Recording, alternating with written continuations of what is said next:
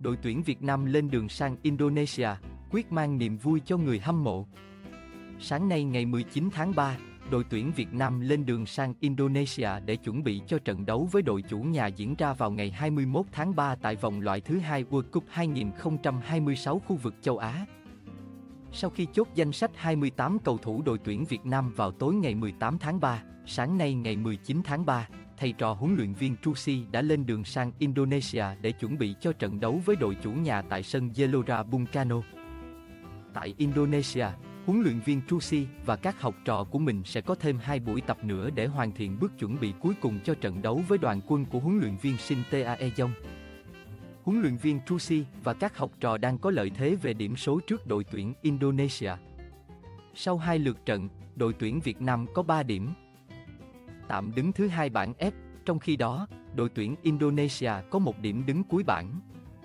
Với điểm số hiện tại, lợi thế đang thuộc về đội tuyển Việt Nam và thầy trò huấn luyện viên Trusi hoàn toàn có thể chủ động trong cách áp dụng chiến thuật của mình.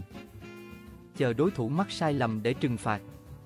Hai trận đấu với đội tuyển Indonesia vào các ngày 21 tháng 3 và 26 tháng 3 có ý nghĩa rất quan trọng trong việc tranh vé đi tiếp của đội tuyển Việt Nam. Thầy trò huấn luyện viên Trusi phải giành điểm nhiều hơn hoặc bằng đối thủ mới nắm trong tay quyền tự quyết. Nếu không giành được kết quả thuận lợi, đội tuyển Việt Nam có nguy cơ lớn bị loại.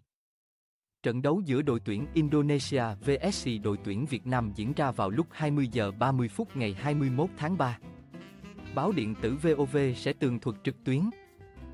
Mời quý độc giả quan tâm theo dõi. Sau trận đấu vào tối ngày 21 tháng 3, đội tuyển Việt Nam sẽ trở về tập luyện, chuẩn bị cho trận lượt về diễn ra vào ngày 26 tháng 3 trên sân Mỹ Đình.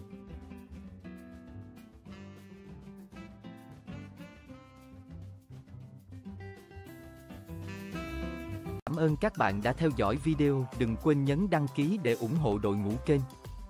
Hẹn gặp lại trong các video trước theo.